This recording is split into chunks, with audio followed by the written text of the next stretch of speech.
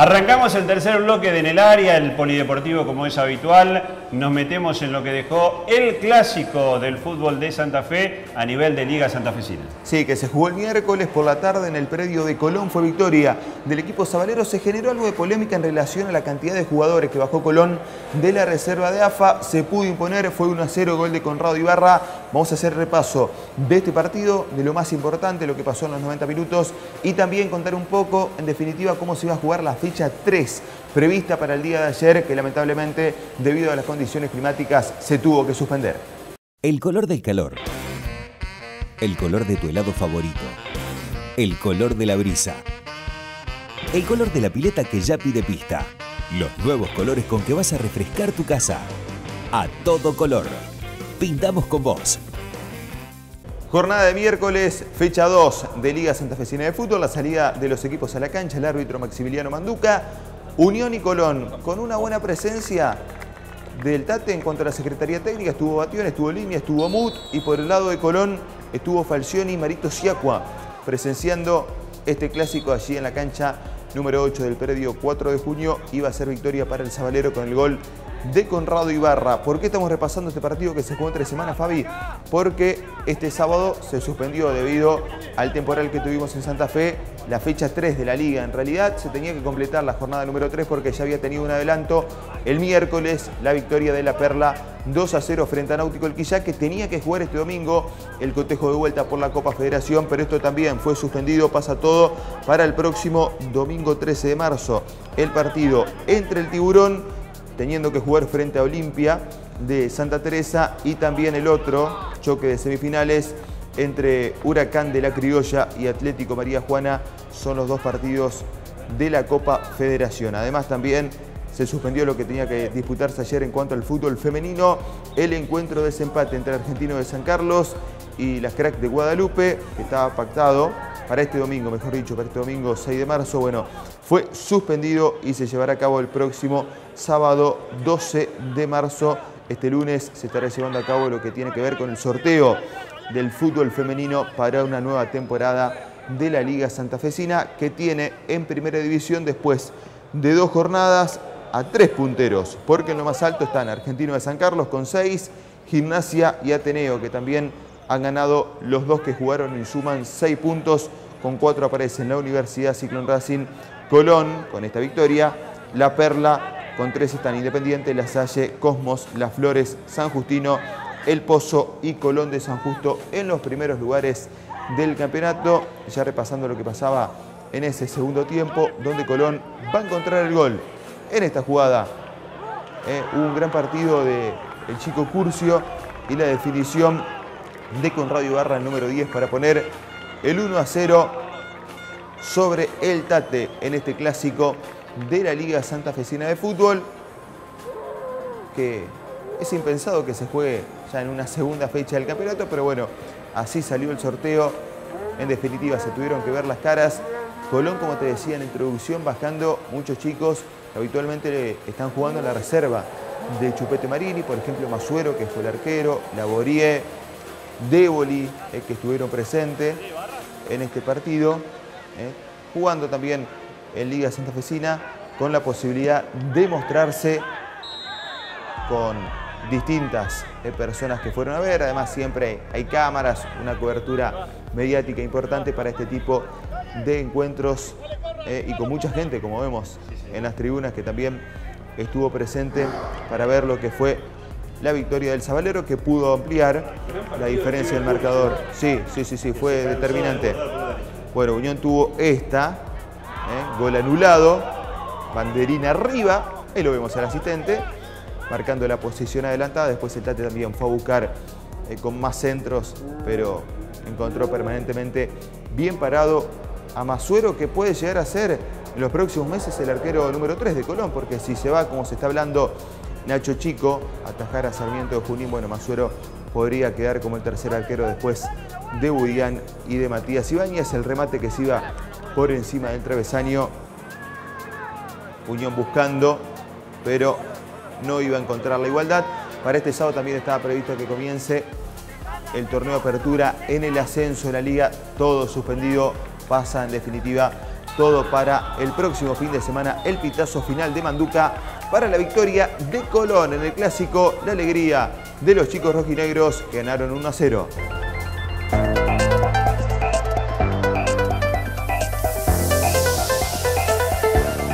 Y uno de los que se ha sumado decidiendo volver a participar activamente de la vida de Unión es el profe Raúl Lozada. Lo convocó Leo Simonuti, le dijo, vení, quiero que estés con mi gente, con todo lo que tiene que ver con Triunfo Tatengue. Y el profesor aceptó, en caso de que ellos sean gobierno, será el encargado, Fabi, de estar a cargo de la coordinación de deportes. Es un tipo con mucha experiencia, fue gerente deportivo durante muchos años del Club Atlético Unión.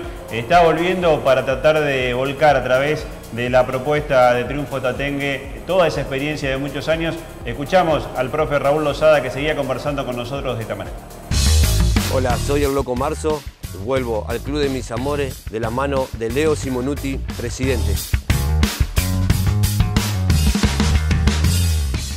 Y los invitamos a todos a participar porque realmente creemos que tenemos que tener la misma aspiración que teníamos hace un montón de años que el club era muy pujante y creo que lo puede volver a hacer. ¿Cuáles son esas actividades que se pueden llegar a sumar o que están, pero que se podrían llegar a federalizar? El caso, por ejemplo, hockey, rugby, que están arrancando, pero que hoy no están federados.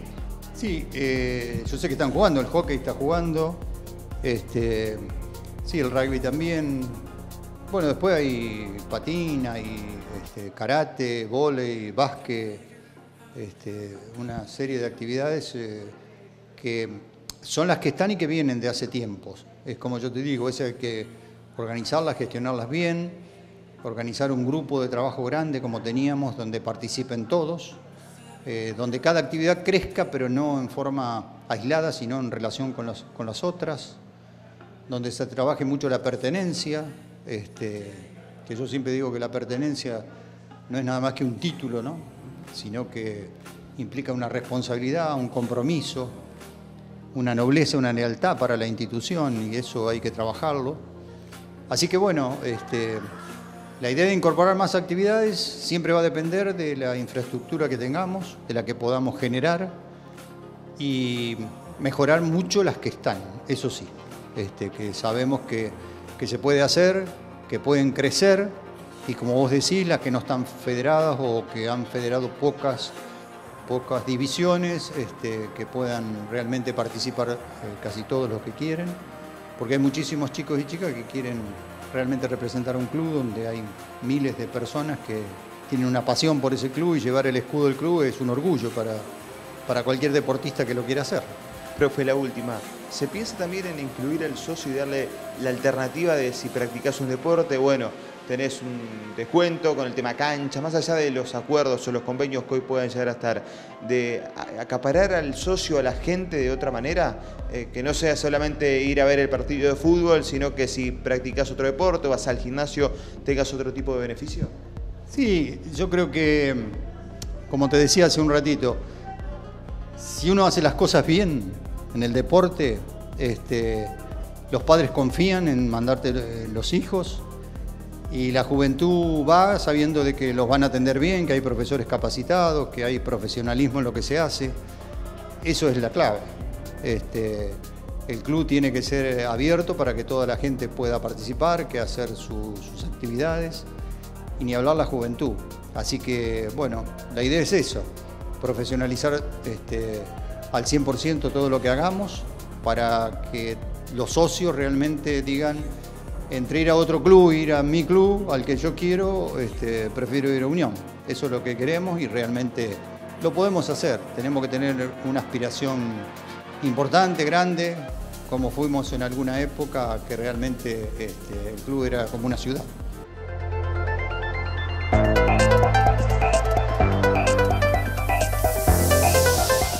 Seguimos en el repaso del polideportivo, en este caso para meternos en toda la actualidad del básquetbol, la participación de Unión en la Liga Nacional y Colón en la Liga Argentina. Sí, con el Tate que perdió el jueves como local frente a Oberá, estará jugando otra vez hoy por la noche el equipo rojiblanco y también nos vamos a meter, Fabi, con este informe del turco en algunas cuestiones que tienen que ver con cambios en el reglamento del torneo asociativo porque ya comienza todo lo que tiene que ver también con el básquet local en la categoría U14, lo va a explicar el turco Vergara. En IQM Insukim, nuestro proceso empieza y termina con el productor. Es así como en IQM garantizamos la trazabilidad de nuestros productos y servicios en nutrición y sanidad animal. IQM Insukim. Optimizamos rendimientos. Y comenzamos el repaso informativo del básquetbol, lo que pasó en el estadio Ángel Malvicino. Unión está jugando este domingo ante Hispanoamericano en Río Gallegos. Comenzó la historia mejor para el equipo Tatengue. Jopler para tres y a cobrar.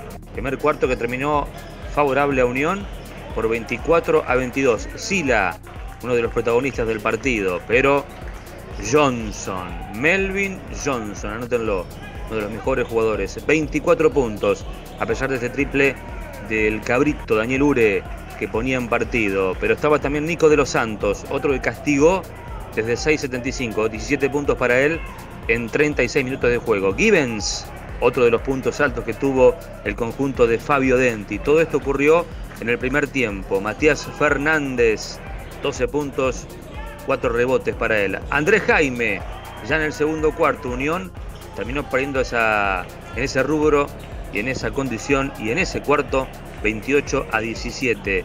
Se iba el primer tiempo y otra vez Melvin Johnson con dos rebotes, dos asistencias y también esto. Matías Fernández castigando desde tercera dimensión. Nico de los Santos, la asistencia para Giorgi para anotar los primeros puntos. Todo esto ocurrió en el primer tiempo, a pesar del lanzamiento de tres, en este caso del Pitu Jopler, que terminó con 12 puntos, 4 rebotes y 5 asistencias. Aquí quiso volcarla para asegurarla, pero prefirió hacer la más sencilla. Zila, 22 puntos para él en 24 minutos de juego con 6 rebotes en total. Se iba al primer tiempo, Unión abajo en el tanteador. Zila otra vez marcando la diferencia y poniéndose el equipo al hombro. Unión no funcionó en ofensiva, ni mucho menos en defensa. Everett, un colador, eh, el defensor Tatenga, el número 15, más allá de alguna que otra intervención. Ure, que conectaba desde tercera dimensión. En el tercer cuarto Unión terminó arriba, 25 a 20, pero no alcanzaba para estar un poquito más a tono en el partido. Otra vez Sila castigando. Bombino también tuvo actividad, 11 puntos para él. Y otra vez Melvin Johnson. Y aquí en este caso, otra vez castigando el equipo de Fabio Denti. Gastón Bertona, ingresó en el segundo tiempo, no tuvo acción en el primero. Nico de los Santos, en el momento que Unión parecía que lo podía llegar a tener, no avanzó.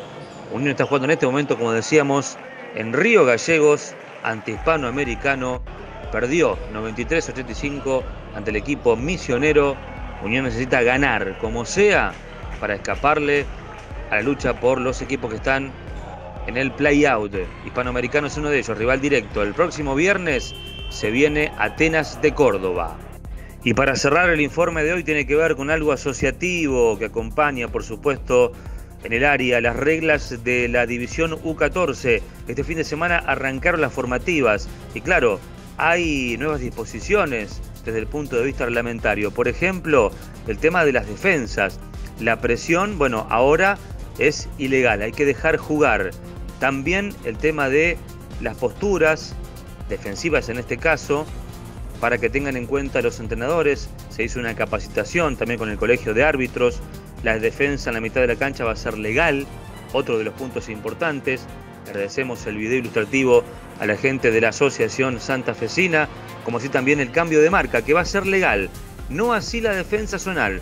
Todo esto en la U14, como lo marca la placa y la ilustración, en este caso con los chicos que han participado. Defensa Nacional, por ejemplo, a partir de ahora es ilegal. Bueno, por supuesto, la semana que viene estaremos con más detalles. El femenino, por ejemplo, que va a tener 11 equipos, todo un logro, ¿sí? Para el ámbito local de nuestro básquetbol, que arrancó este fin de semana con 14 canchas distintas. Mucho básquetbol en esta noche aquí en el área.